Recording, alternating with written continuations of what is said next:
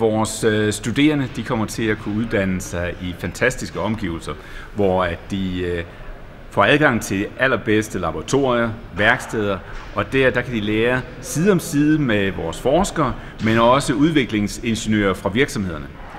Og virksomhederne, de vil jo tydeligt også med det her, fordi de jo ikke for bare vores blå øjens skyld doneret øh, over 200 millioner kroner til os. Det er fordi, de vil samarbejdet, og de vil vores studerende.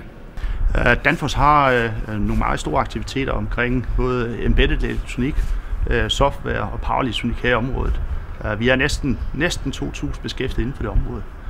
Og en af de helt store udfordringer, vi har, det er rent faktisk at få dygtige ingeniører ind i takt med, at vi udvikler forretningen, og ikke mindst hele elektronikområdet og vokser, og som også vil komme til at vokse i fremtiden. Vi går endnu mere i retning af digitalisering og elektrificering, og der er lige præcis den type uddannelse her.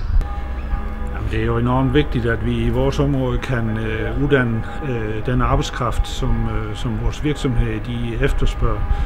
Og derfor er det jo så afgørende, at vi får gang i flere uddannelser. Øh, vi ved, at virksomhederne har brug for kvalificeret arbejdskraft, at der kan være langt til test- og laboratoriefaciliteter. Det løser vi med det her partnerskab.